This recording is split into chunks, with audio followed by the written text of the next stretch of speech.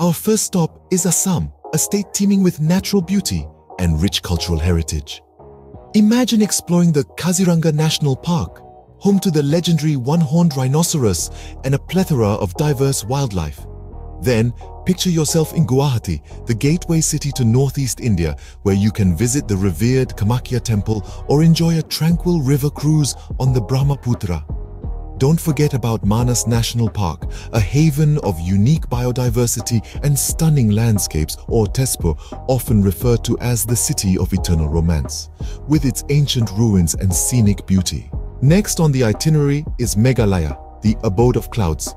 Here, the capital city of Shillong, often called the Scotland of the East, awaits with its beautiful waterfalls, serene lakes, and captivating museums. Venture to Cherrapunji and Mawsynram, the wettest places on earth and marvel at their stunning landscapes and living root bridges.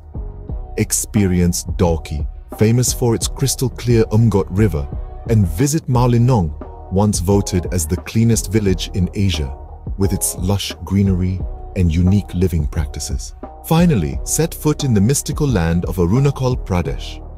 Explore Tawang, known for the majestic Tawang Monastery, breathtaking landscapes and ancient forts.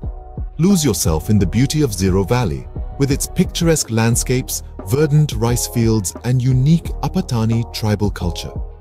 Discover Dirang, known for its hot springs and apple orchards, and venture into the vast Namdapha National Park, one of the largest national parks in India, known for its diverse flora and fauna.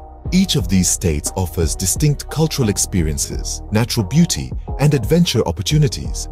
From the wild expanse of Assam's Kaziranga National Park to the crystal clear waters of Meghalaya's Umngot River and the majestic Tawang Monastery in Arunachal Pradesh, there's a world of wonders waiting for you in northeast India. So why not embark on a journey to these hidden gems and create memories that will last a lifetime?